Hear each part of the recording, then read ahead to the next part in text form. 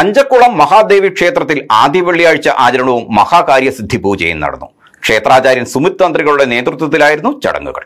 കോടിക്കുളത്തെ അഞ്ചക്കുളം മഹാദേവി ക്ഷേത്രത്തിൽ ആദ്യ വെള്ളിയാഴ്ച ആചരണവും മഹാകാര്യസ്ഥിതി പൂജയുമാണ് നടന്നത്. ദേശത്തിന്റെ വിവിധ ഭാഗങ്ങളിൽ നിന്നായി നൂറുകണക്കിന് ഭക്തർ ആദ്യ വെള്ളി ആചരണത്തിലും മഹാകാര്യസ്ഥിതി പൂജയിലും പങ്കെടുക്കുവാനായി ക്ഷേത്രത്തിൽ എത്തിച്ചേർന്നു. ക്ഷേത്രാചാര്യൻ ചേർത്തല സുമിത് തന്ത്രിയുടെ മുഖ്യ കാർമ്മികത്വത്തിലായിരുന്നു ചടങ്ങുകൾ.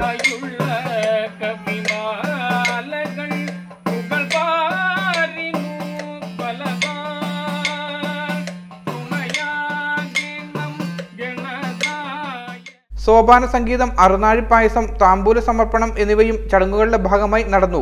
എല്ലാ മലയാളം മാസത്തിലെയും ആയില്യം നാളിൽ വിശേഷ സർപ്പപൂജയും ക്ഷേത്രത്തിൽ നടന്നു വരുന്നുണ്ട്. ക്ഷേത്രത്തിലെത്തുന്നവർക്ക് അന്നദാനം ഉൾപ്പെടെയുള്ള സൗകര്യങ്ങൾ ഒരുക്കിയിരുന്നതായി ക്ഷേത്രം ഭരണസമിതി ഭാരവാഹികൾ പറഞ്ഞു.